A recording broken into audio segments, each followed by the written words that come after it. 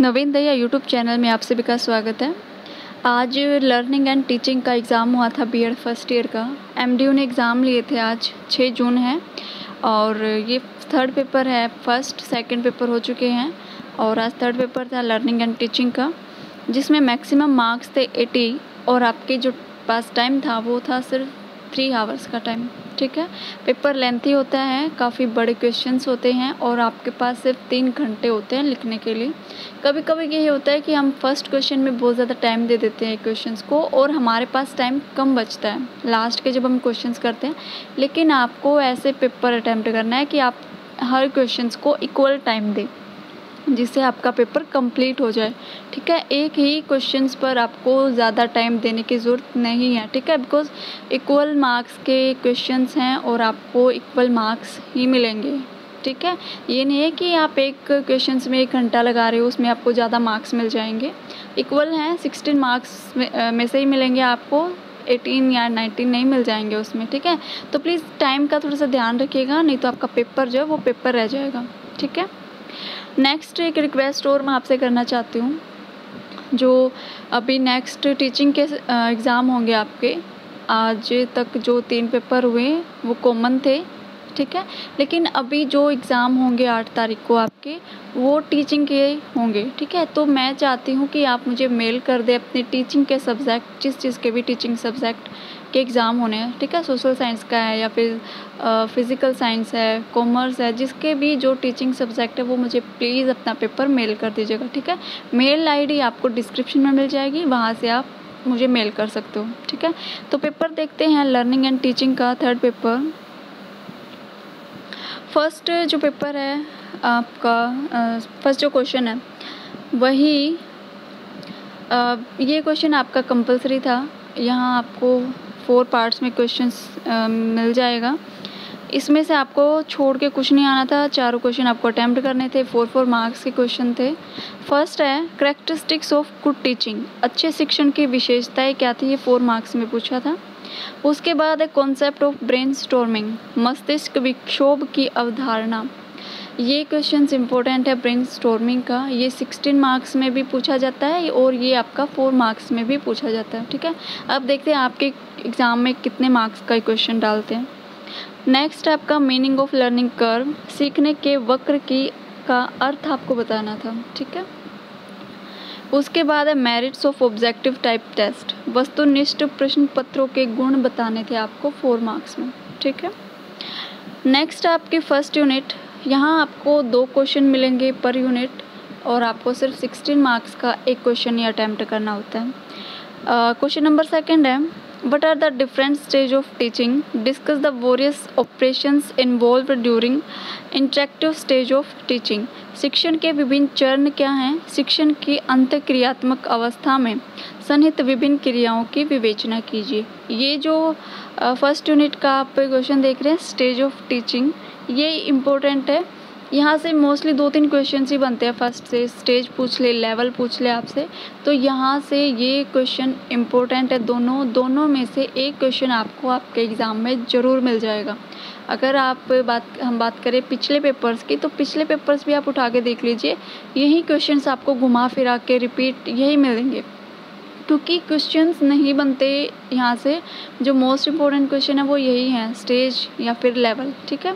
देखिए सेकंड जो है ऑप्शन में यहाँ पे आपसे लेवल पूछ लिया। दोनों क्वेश्चन साथ साथ डाल दिए हैं। Explain the various level of teaching how reflective level of teaching is different from memory level of teaching discuss देखिए टीचिंग के जो लेवल हैं, वो पूछ रखे हैं आपसे, और उसमें से सिर्फ़ एक लेवल पूछ रखा है रिफ्लेक्टिव लेवल ठीक है? तीन लेवल हैं इसके, लेकिन आपसे सिर्फ़ एक लेवल ही पूछ रखा है। हो सकता है नेक्स्ट पेपर में दूसरा लेवल पूछ ले। तो आपको लेवल तीनों याद याद होने चाहिए कम्प्लीटली उसके बारे में पता होना चाहिए, या फिर आपसे तीनों लेवल का ही वो एक्सप्लेन करवा ले। एग्ज़ाम में, ठीक है? उसके बाद है सेकेंड यूनिट देखिए सेकेंड यूनिट में टू पार्ट्स में है सेकेंड यूनिट एक तो मॉडल्स हैं और एक स्ट्रेटजी ऑफ़ टीचिंग है. तो यहाँ से आपके क्वेश्चंस बनते हैं मॉडल से भी क्वेश्चंस बनते हैं और आपके स्ट्रेटजी ऑफ़ टीचिंग से भी क्वेश्चंस बनते हैं. तो दोनों में से एक एक क्वेश्चंस आपको देखने को मिलेगा.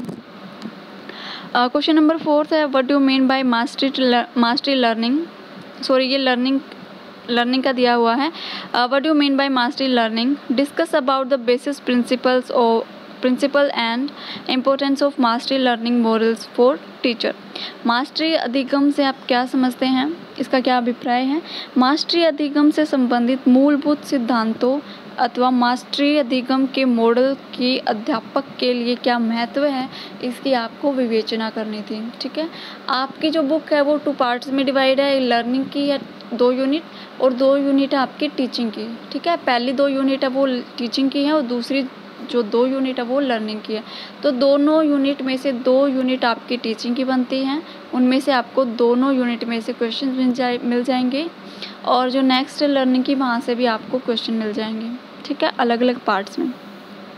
उसके बाद discuss the method of team teaching in detail enumerate its useful sorry usefulness in teaching at higher secondary stage टोली शिक्षण विधि की चर्चा कीजिए। उच्चतर माध्यमिक स्तर पर अध्यापन में इसकी क्या उपयोगिता है, इसके बारे में आपको बताना था। ठीक है, टीम टीचिंग के बारे में आपको बताना था।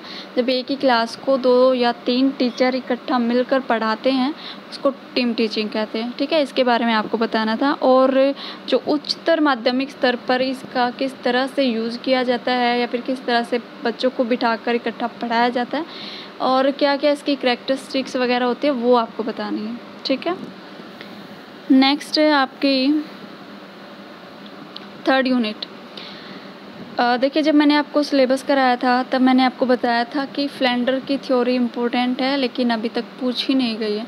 तो एमडीयू में पूछ ली गई है फ्लेंडर की थ्योरी तो आप भी अपना थोड़ा सा कवर करके जाना। हो सकता है आपके एग्ज़ाम में पूछ ले। अदरवाइज़ तो चांसेस कम हैं क्योंकि एमडीओ में पूछ ली गई है, हो सकता है आपके एग्ज़ाम में ना पूछे लेकिन एक बार नज़र ज़रूर मार के जाइएगा फ्लैंडर की थ्योरी पे। क्वेश्चंस हैं throw lights on the merits and demerits of Flanders instruction analysis system Flanders की अंतक्रिया विश्लेषण प्रणाली के गुणों एवं दोषों पर प्रकाश डालिए फ्लैंडर ने जो अपनी थ्योरी दी थी उसके गुण और दोष आपको बताने थे यहाँ पे, ठीक है? पहले तो आप बताओगे फ्लैंडर ने क्या थ्योरी दी है, क्या इसका मीनिंग है, किस तरह से इसका पैटर्न है, और फिर आप इसके गुण और दोष बताओगे, ओके? उसके बाद है question number seven but is the meaning of information and communication technology describe the utility and limitations of ICT सूचना एवं संप्रेक्षण तकनीकी का क्या अर्थ है? सूचना एवं संप्रेक्षण तकनीकी का शिक्षा के क्षेत्र में उपयोगिता तथा सीमाओं का वर्णन कीजिए। क्या इसका यूज़ है आईसीटी का शिक्षा में? और फिर क्या इसके लिमिटेशन है? वो आपको बताने थे। ओके। नेक्स्ट है क्वेश्चन नंबर एट और unit four explain the formative summative and diagnostic evaluation in detail निर्माणात्मक संकल्प संकल्पनात्मक तथा निदानात्मक मूल्यांकन की विस्तार पूर्वक व्याख्या कीजिए। आपको फोर्थ यूनिट में इवेल्युएशन से क्वेश्चन ज़रूर मिलेंगे और फॉर्मेटिव सम्मेटिव डायग्नोस्टिक यहाँ से पूछ रखा है। उसके बाद है क्वेश्चन नंबर नाइन्थ ये आपको जो आप क्वेश्चन नंबर नाइन देख रहे हैं टू पार्ट्स में हैं। एट एट मार्क्स के क्वेश्चन दो डाले गए हैं। लेकिन ये कंपलसरी है, दोनों करने करने हैं आपको एग्ज़ाम में। ये नहीं है कि एक क्वेश्चन में दो डाल दिए एट एट मार्क्स के तो आपको सिर्फ़ एक करना है, दोनों करने हैं, ठीक है?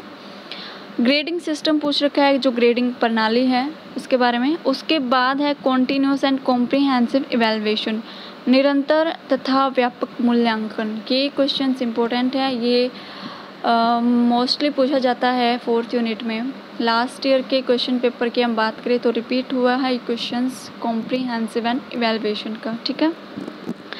और फिर ये था भी आपका आज तक का लर्निंग एंड टीचिंग का पेपर जो आज हुए थे, ठीक है? आप तैयारी कर रहे हैं सी आर एस यू से डी क्रिस्ट से जो बच्चे एग्ज़ाम दे रहे हैं अभी सात कल से आपके एग्ज़ाम स्टार्ट हो जाएँगे सी आर एस यू के।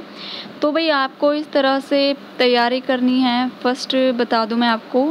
फ़र्स्ट यूनिट में आपको यहाँ पे लेवल और स्टेज जो हैं, वो करनी है, दोनों में से एक मिलेगी आपको। सेकेंड यूनिट में मॉरल्स और स्ट्रेटजी में से एक क्वेश्चन मिलेगा मतलब दोनों में से एक एक क्वेश्चन मिलेगा, ठीक है? इम्पोर्टेंस है, जो क्वेश्चंस मॉडल्स की हम बात करें इंक्वायरी जो मॉडल है आपका और दूसरा है मास्टरी लेवल ठीक है? दोनों इम्पोर्टेंट है। उसके बाद जो आपकी स्ट्रेटजी है टीम टीचिंग है ब्रेन स्टॉर्मिंग है, दोनों काफ़ी इम्पोर्टेंट क्वेश्चन बनते हैं यहाँ से।